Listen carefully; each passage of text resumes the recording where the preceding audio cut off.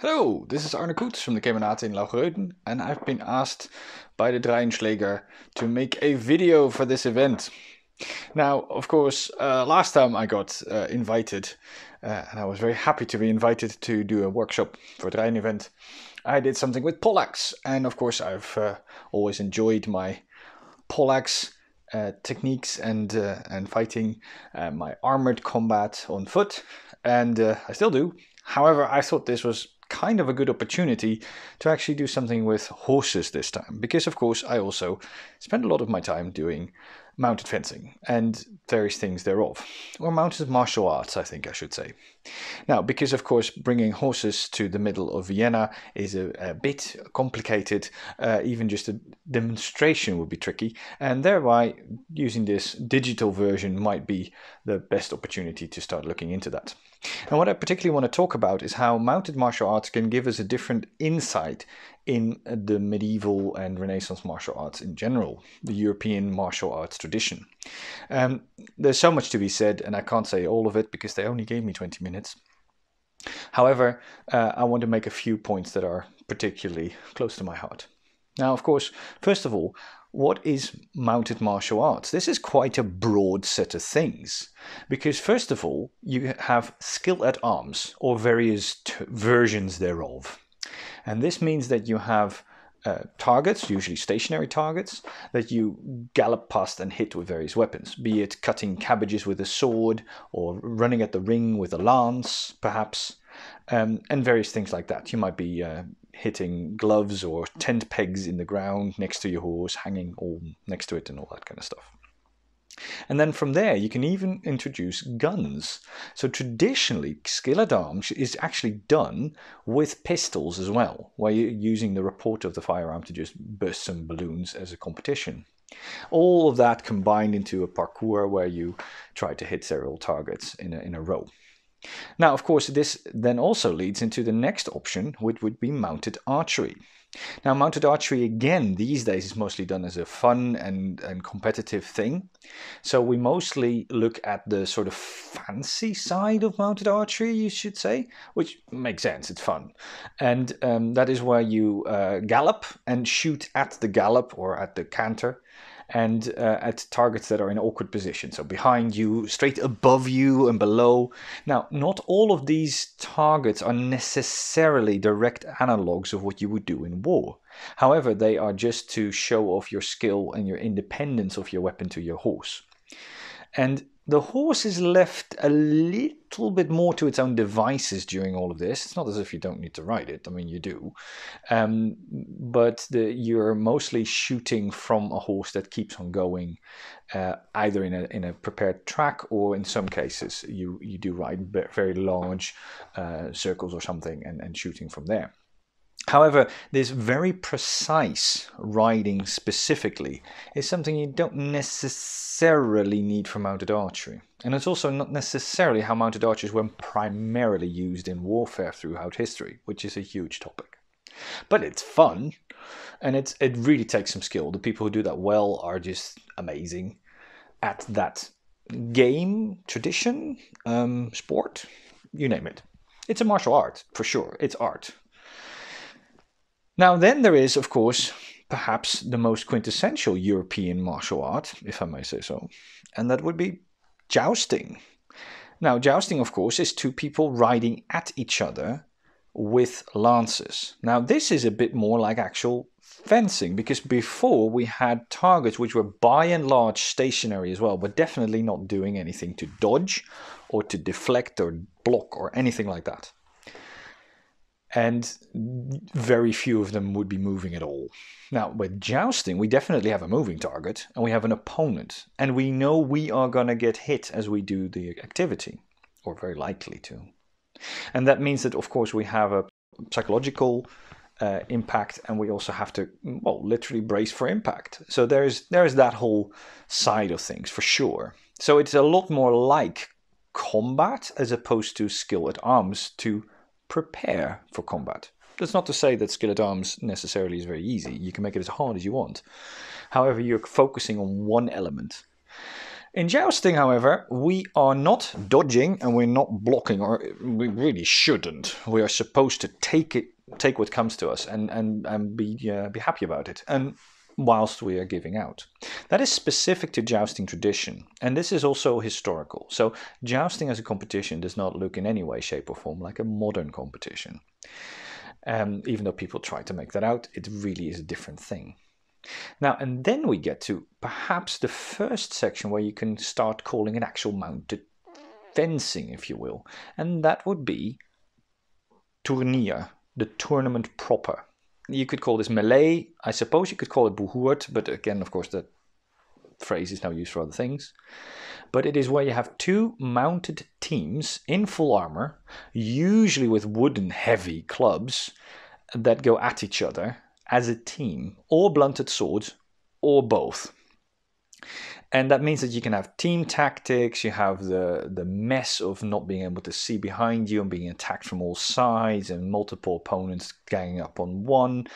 And we don't really know what the rules were but it seems as though there were very few rules because it was impossible to enforce them anyway because it was such a mess. And um, this might have as historically as many as 400 participants at one time definitely uh, around 200 is several times uh, depicted. We've done it with up to 12, which was already quite hard. Now, that means that you're bashing each other rather hard, and um, you might think that there's no thrusting, but there is records of people using clubs and thrusting with them, wrestling, using them like daggers whilst wrestling on horseback. All of that is depicted, and all of that is recorded. But this is still relatively large, relatively controlled events at the time, and usually when we reproduce them, they're even more controlled. We might, for instance, use a tilt rail to make sure that the horses know where they're going and cannot collide so easily. However, you can up the ante one more and get closer to the actual combative reality. And this is what was known as à l'outrance, eh, until the utmost, um, or joust of war, same concept, where you ride without a tilt rail. So all these things that are kind of sportive aids um, potentially more armor, more specific armor, um, the tilt rail itself, obviously a prepared field to make everything easy for each other. That is not around in war or in duels. So um, a joust of war very much fudges into the judicial duel territory as well. This is very difficult to draw the line between the two. And we have reproduced those as well. And that's where you start aligning yourself, but there's still a sort of um, an agreement to meet in the middle with most of these displays. So, at least when we did jousting with real lances with sharp heads, uh, we very much agreed to meet with the lance strike. But then we carried on with blunt swords in a free flowing competitive sense from there. So, but that all still is somewhat restricted in your martial ability to make a tactical decision. And then we have mounted fencing per se. So that is really what I'm trying to talk about here. So there's all those other martial arts, which is also European historical martial arts in their own right, and all have very much a place to to be. And um, and but I'm just being specific about the fencing on horseback, um, and this can be done with lances or with swords or with warhammers, or you actually just wrestle. And frankly, there's also daggers involved um, in some of the manuscripts. They're not a great deal, and uh, that means that we we need to uh, play with approaches and how to use the weapons and things like that. And we we can we can really have some fun on horseback. But of course, you need to do the riding as well as the fencing at one time and uh, that means that of course we have a we have a bunch of things that we do usually uh, in the world uh, agree that we don't like doing. For instance, there is manuscripts that specifically tell you how to kill your opponent's horse. Yeah, we we don't do that one. We don't even do that with a rubber weapon or anything like that. Obviously, we don't want the horses to. Um, get afraid or suffer or be hurt, for God forbid. So that is definitely not on. And also, uh, it is taken as the responsibility of the combatants and the riders to, of course, avoid that the horses might be struck accidentally as well, obviously. I mean, it might sound really obvious, but it is a really big deal. And of course, we need to control a very complex environment to make sure that that doesn't happen. But also, we need to control our own uh, fervor as we fence. Uh, we need to control our own fervor so that we don't u- apply the weapons too harshly on our opponent. Also, kind of obviously, but more importantly, when we're trying to beat somebody up who's yeah wearing a fencing mask, you can take a bit of a hit in the face. I might be quite targetly, really going for his face, going, well, I'm allowed to hit that a bit harder. But then if my left hand holding the reins of my horse is also fervent because I'm using all these forces, I'm of course not allowed to pull my horse in the mouth either. So I can't have my hand yanking up because I'm so distracted with my weapon that I don't notice that my hand is just uh, yanking on the curb bit of my horse, hurting my horse's mouth. That would absolutely not be a way that we would want to. Um, uh, ride our horses. So we sometimes need to bear that in mind, and uh, of course, uh, uh, further the idea that that is just not acceptable in this day and age. Similarly to, for instance, the throws of the horses, there is descriptions of how to throw the horse over so that the rider will be crushed under his horse. We don't practice those either because it's not very nice, and also it would be rather dangerous, obviously. So um, there is a, little bit that we need to kind of hold back in the interest of the horses, but it's not a big sacrifice to be honest. Um, control is nice in martial arts anyway, and uh, yeah. So uh, let's go on to some ideas on how to get approaches. So, apart from the weapons we might be using and the things we might be doing when mounted fencing, there's one specific thing that is needing to be considered. We can't just ride straight at each other because the horses would crash, quite simply. And the horses don't like to do that anyway, so we need to find other solutions. This means that we have two major classes of opportunity frontal attack, which is unter Augen, or attacks from behind. Now, when I'm attacked from behind, there's still the distinction between being attacked from the left or being attacked from the right. And this means that when I'm attacked from the right, I have some opportunity to just turn in the saddle and still ride in the regular direction and use my weapon relatively okay. However, if I'm attacked from the left, this is really awkward, especially when trying to not do silly buggers with my reins. I can sort of defend, but it's very ineffective because you can just kind of call a shot right next to the defense. However, even though I might then engineer the maneuverability of my horse to have my opponents opposite me, frontally, unter Augen, I could still have my opponent on my left or on my right. So right side to right side or left side to left side, as we tend to call it. Now, with lances, left side to left side is a lot more interesting than with swords. I mean, you can do it, but it's awkward. We'll see some interesting uses of fighting to the left side, however. With swords, you usually fight right side to right side, to the point where they actually shorten the right stirrup because they're going to turn right so much when fighting with swords. They are actually mentioning this in the sources. Now, however, when we do this, not only are we passing each other by, we also need to project our weapon on a, some angle to where we are going. Now, this would normally be a little bit awkward because what we usually do in, in martial arts is keeping our opponent in front of our chest so we can project our, our attacks and defenses. So we have a good structure to work with. However, on horseback, the odd thing is that we usually have very hard hits if we're not careful. We tend to hit harder on horseback than the same person would hit on foot, even though they're using it one handed and uh, even though they have all this other stuff to deal with. So they might not always be quite so on the money with their technique. So why is it that we have so much more force? So it could be a choice of weapon. If you use a saber, you know, that hits hard. Well, what if we don't use a saber? We use the same weapon, like a longsword. You still see that the same person hits harder on horseback.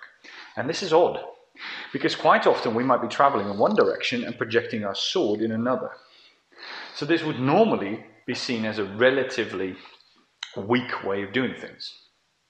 Now, of course, we have the speed of the horse, but this might be very fast or very slow.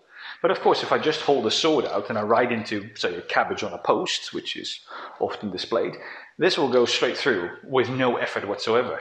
Or you just hold your sword out and ride into people and uh, they go to the hilt I mean, really easily, just because of the speed of the animal, giving you basically a projectile that you happen to be holding. Okay, sure, but what if that's not the case? For instance, when we're circling around each other and we don't actually have a speed towards the opponent, why do we still hit them so hard so easily? And this is an interesting biomechanical conundrum. And it turns out that it has to do that even though the horse might not be traveling towards the target in any way, shape, or form at all, even, it's still moving a lot. So, in order to sit on that movement of the horse, I need to move my hip a lot. So, my muscles are keeping me in motion to be harmonic with the horse. And in doing so, I'm already needing to buffer his motion and generate forces and energy inside my body anyway. Now, when I channel this to my weapon, I end up hitting really hard, even though I might be traveling in that direction and striking that direction. My hip is moving, my shoulder blade is moving my sword. And this is also useful that we don't necessarily need to use our wrist so much. So this means that we get very high forces by use of the shoulder blade and by use of the hip.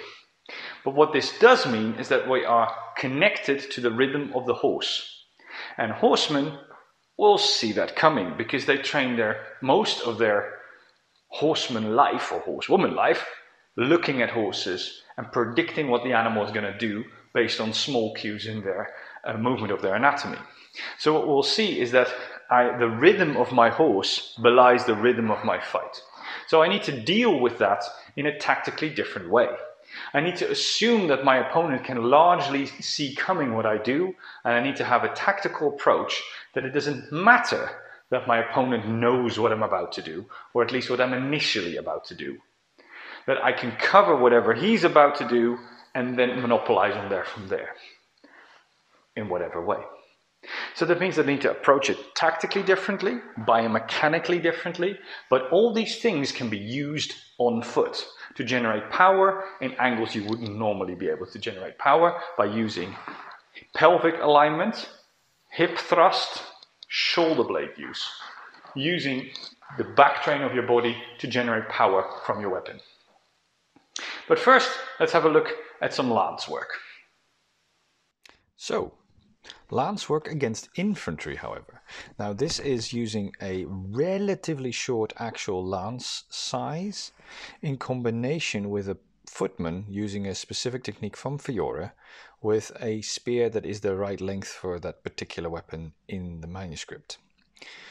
So what we see here is that the rider is coming at the opponent using the lance and we're first letting the infantrymen do their technique as they see fit uh, in order to uh, allow the infantrymen to figure out the footwork which is really quite specific uh, in the manuscript, even though there's two different versions in the different manuscripts of Fiore. So now this is a bit of an awkward angle, but you can see that the spear that I'm using there is going away from the horse's head in order to defend and then counterattack using specific footwork. Now we'll do this again from the other side. And this is basically just to give you some idea of what we're attempting. Now, when the opponent, the rider, is not really doing anything fancy, it is obviously very easy to deflect the lance and then give a counter thrust. But I need to use quite significant footwork. And here we see that executed again. And here the rider is of course cantering and there is a fairly good shot to be had for the infantryman. So that looks pretty good, isn't it? But already when I'm coming here at Nick, with my horse, I'm making it a lot harder for him, and he's not able to step in as he would have liked.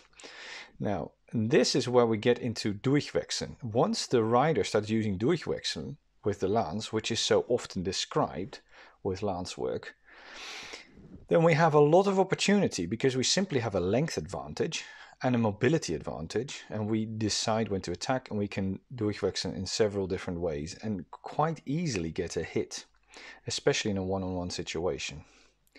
So here it's me trying to defend and I'm stepping off quite a lot more and I still get hit really quite nicely in my stomach by Isaac there.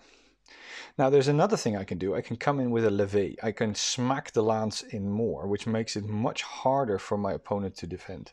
Now notice here that there's still quite a lot of distance between the, the spear and my horse. I can leave quite a bit of distance as I see fit, especially due to the length of the lance. Although horse lances get a lot longer than this. Now, in here, this is another approach. He can use his horse to attack me, and you can see how easy that is for him. He keeps control over my weapon, and he could easily have run over me if he wanted to. He's just holding back uh, his little stallion there. So you can see that there is several things that we get to do that are often ignored because it's there's of course always a counter in martial arts and there is here as well. We have several at our disposal as riders against this particular technique that is quite famous. So then we are going to fence with lances between two riders. So in this case we need to start aligning ourselves and like i said with lances we have a lot better opportunities to attack on our left or on our right. But when the opponent has a lance he can also use it to defend himself so as opposed to jousting where you just take the hit, here we're kind of trying mostly be deflecting the opponent's lance and then seeing if we can get a line to attack. Now the thing of course when we're fen fencing with this in sparring is that when you connect it can really connect quite hard so we are being rather careful. So sometimes we're just kind of pointing that we could have hit. Now, first we start off with just couched lance work, which is by far and away the most what you do with the long, heavy lances of the medieval period. And uh, then we see some more intricate stuff later. So here I'm coming in and I'm collecting my horse to see if I can get an angle. And then I'm here we have the slow motion, so I'm doing a little durchwechseln so I can attack him there. And I use the side here because I didn't want to pile it into his uh, fencing mask so much. a specific type of turn that you do. I cross across his line, re reposition my horse, and now I defend, attack his head, and he just simply lifts his lance and leans out of the way. But this means that he cannot attack me in this particular moment. He managed to defend himself, so though. So there's a few things that you can do there. And here we're using actually the back of the lance to defend and actually attack the rider in a sort of a wrestling type of fashion where you're trying to washer line him off the horse. This is specifically mentioned. So you can also use the back of the lance to defend with it. Or for instance, you can drop your reins and use it two-handed and come in there. And this dropping of your reins is done usually rather late. So you need your reins to try and get the best position you can get. However, uh, when you uh, do this, you might find that you uh, need to um, do this at the last moment because you want to get a nice line and then allow the horse to carry on doing its job. Now the next is we're going to fence with some swords. And what you uh, what you probably see here is that the exchanges are very, very short. We do a lot of maneuvering and then there's very short, relatively furious exchanges. And in this first section, this is a, a relatively inexperienced fighter who's uh, getting used to the horse as well. So I'm having a bit of a field day here, I must say, um, being able to use several different techniques. And you see that there's a lot of single time um, attacks. So a lot of versetzen is done with uh, attacks that are also covering the line, and I'm able to uh, attack him in various different ways with thrusts and strikes. But there's a lot of specific positioning and angles that kind of give me different opportunities to uh, be able to apply different techniques.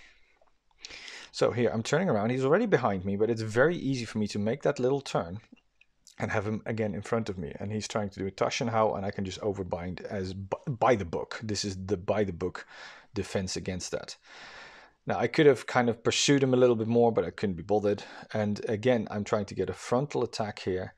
And then as he comes in, I can defend and I can thrust forward there. Now, because there was a bit of a bounce in the swords, I didn't really keep the bind, but I had the line and I had my opposition, so I didn't really care. So next we're coming in here and I'm using a Schielhau type of attack and I'm just kind of overbinding from there. And, and then again, I'm turning left here and resetting my horse. And this is why I need to defend more or less Kron-like. And then I just try to do a Zwerchhau-like motion to, to the back of his head because I was kind of still busy riding my horse. And that's why I was doing something rather simple. And then here we see something that is very common uh, on horseback, which is the Turkish hau, the Turkish cut, which is essentially a type of schnappen, where you attack and you attack again. We'll see this a bit more detail in a moment. And I did a follow-up motion with the back of the sword there, with the short edge. Um, so I strike at him, and then I can just do a durchwechseln from there as well. Especially once eh, he started being invited to raise his sword higher and higher every time I attacked at his head, then of course the durchwechseln is a very good option. And here I can actually just go around again and do a strike uh, from there. Now this is a, a, section where we see an attack on the left side, although the other side was on the right side. And here Isaac is turning very aggressively inside, managing to block with his crossguard, getting a thrust, and then getting this turn in between the other stallion, and then attacking from behind and being able to approach his opponent from behind. Now you can see that that takes a lot of commitment and it's very easy to screw up. So now we're seeing that this is this schnappen type motion, Turkish hau, and we see that very often this is used. So which one is attacking or which one is defending is sometimes hard to tell. And it just looks like crossing the swords. And this is very easily defaulted to on horseback. And here when we turn around each other a bit more, I can use the short edge of the sword to make another attack either at the head or at the back. So um, this is something we see a lot of, and it's the closest we get to parry riposte. And here we just have a little fencing match, and you see that we have a little bit more of a furious exchange here, quite simply because we stayed in measure, cantering very close to each other, because we both thought we could get each other. And there I rather haphazardly break off the fight, but the point being that we uh, could do these hits and then these durchwechseln there. So, there we've seen some mounted fencing, some sparring, and some use of weapons. Of course, I started off talking about primarily about power generation and things like that. However, what you might have also noticed is that there is a very deliberate approach of the opponent and a sort of a almost a consensual meeting. Now, once this starts happening, when people know that it's inevitable that there's going to be a fight, there is going to be a very different type of fight due to uh, the mounted fencing reality, in that you need to do a committed attack because if you want to wait for your opponent, you can't really hover in the distance and see what you're going to do and then snipe from a distance. That's not really an opportunity you have. You're going to be in the thick of it immediately. Now, this is interesting in that sense, is that it is very much the type of fighting we see in Fiore and we see in Lichtenauer, in a very general sense at least, even in Jodler Hash. So we see that people, even on foot, had the mindset of coming in uh, really rather committed and using attacks that threatened and closed lines at the same time. So either upsets and type of things or Meisterhauen, for instance. Now this is used very much on horseback as well. Quite simply because you don't have time to make decisions on going from parry route to riposte, for instance. Now, of course, there is then follow-up attacks. So you might do a Zornhau and then wind and then overbind with a Mutieren type of uh, type of movement or various things like that. But this is when you're already very much in the thick of it and passing each other by. Um, in similar sort of committed approaches like you would do with a Durchlaufen, for instance. Not that it's the same thing. So we see that there's a very committed sort of type of combat. Now this is also important when you fight in groups on foot. Now, when you do that, doing an approach with a whole group at once, when you don't necessarily, with your opposite number in the enemy's ranks, necessarily have your optimal moment to attack, but you're doing it when your unit decides to push, means you get a very different fight. And this is also, of course, done on horseback in warfare at the time as well. So, this mindset allows you the flexibility to be effective as part of a unit as well as an individual. It allows you to fight well on foot, in armor, out of armor, on horseback, or away from horses, fighting against horses on foot, or vice versa. All these different scenarios, if you're going to have one major game plan that you're going to teach people, they, this game plan kind of fits with them all. There's definitely a risk involved, but then there is uh, risk involved with every game plan. And I suppose this is why we see this so much emphasized in the earlier manuscripts and as opposed to the later manuscripts, where you see a lot more sort of gaming the distance becoming more and more important as time goes on. So I just wanted to point a couple of those things out, and I hope it's uh, useful to you all, and then I wish you a very good time. Thank you very much.